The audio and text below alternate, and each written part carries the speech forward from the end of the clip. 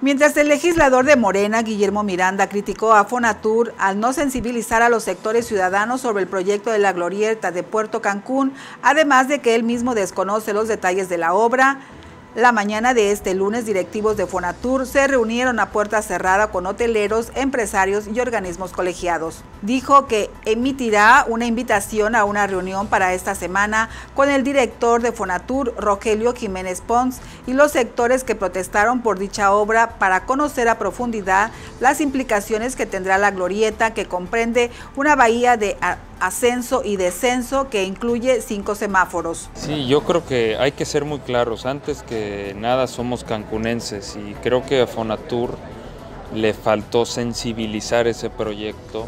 Si bien mencionan eh, que hubieron reuniones con el Instituto de Planeación y que fueron abiertas y que muchos pudimos participar, eh, creo que la mayoría de los sectores, tanto de la sociedad civil o del gobierno, no nos enteramos al menos nosotros como Poder Legislativo, nunca nos sensibilizaron de ese proyecto.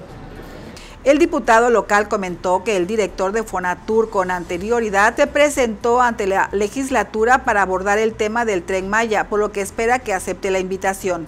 Sí, desde luego que vamos a hacer un llamado. El año pasado invitamos al director, al al arquitecto Jiménez Pons, estuvo en el Congreso explicando todos los temas del tren Maya y también se aclararon muchas dudas eh, que teníamos sobre el tren en materia ambiental. Creo que tendremos que hacer lo mismo en cuanto a esta glorieta. ¿Alguna fecha para este exhorto a, Fonatur, con los hoteleros, con los empresarios? Yo creo que más que un exhorto va a ser un diálogo, eh, que lo estamos pensando precisamente esta semana.